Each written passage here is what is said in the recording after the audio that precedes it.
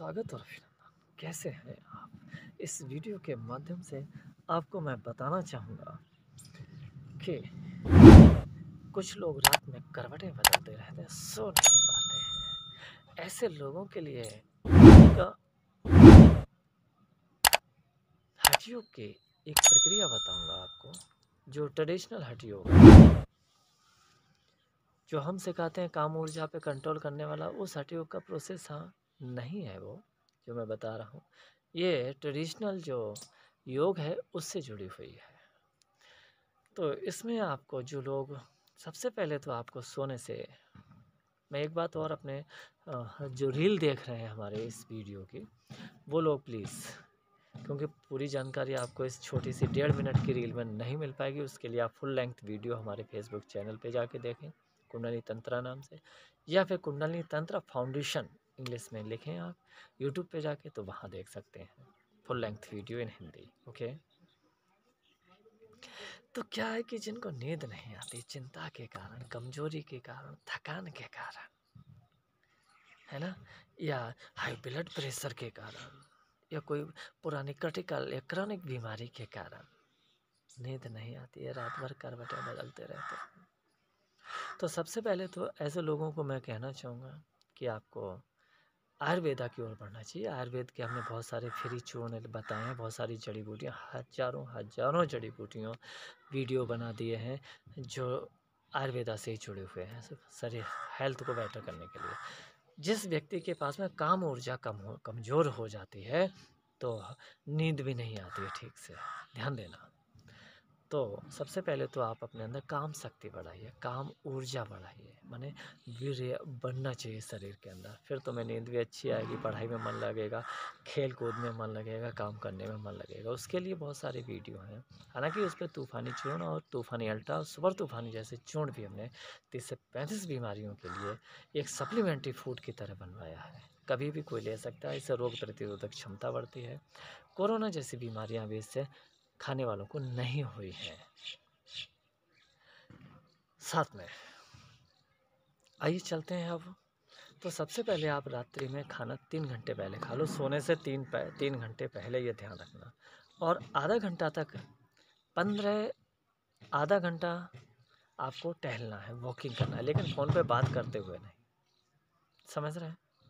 उस समय आप अपने चाहे तो अल्लाह का नाम लें चाहे मुल्ला का नाम लें, चाहे अपने गुरु का नाम लें, चाहे किसी का लें ईश्वर का नाम लेते हुए चिंता, चिंतन करते हुए टहले लगातार स्पीडली टहले उसके बाद फिर आपको जब आप बिस्तर पे जाएँगे तो थोड़ा पेशाब करिए।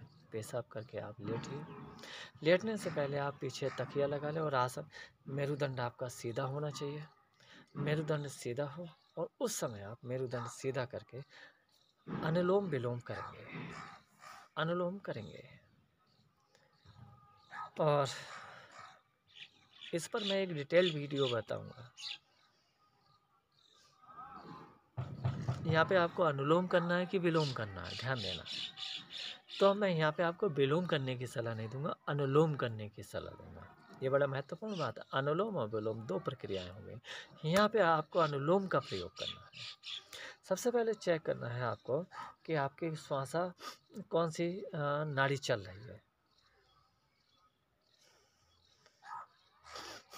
जिधर से श्वास आपकी आराम से आ रही है और जा रही है, ऐसे टच करके देख लो। कभी कभी जुकाम होता है तो नाक ठस हो जाती है तो उससे पता नहीं चलता है, लेकिन फिर भी आप इसका प्रयोग करना है। आप सपोज़ आपकी बाएँ नाक से श्वास चल रहा है। कुछ लोग ये मूर्खों वाली प्रक्रिया करते हैं इस तरह से। ये बकवास है। समझ रहे हैं ना? कुछ लोग जो है अजीब अजीब उंगलियाँ बना के करते हैं। आपको सिंपल करना है। ज़्यादा टंट घंट में नहीं पढ़ना है। ठीक है ना? सिंपल वे से करो।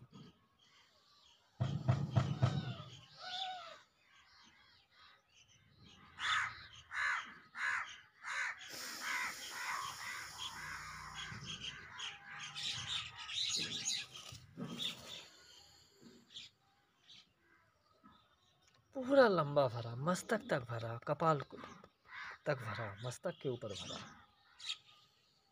केवल भरना है इधर से निकालना है, लेकिन इधर से भरना नहीं है फिर, यानी विलोम नहीं करना है।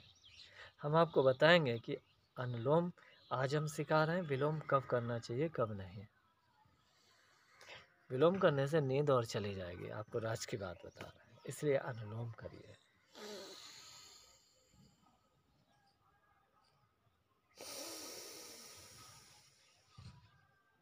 ठीक है?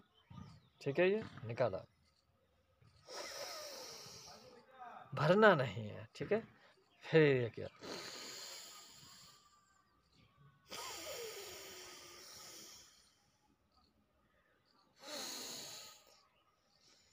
जल्दी जल्दी नहीं करना, जितना लंबा। देखिए, फिर से एक ट्रायल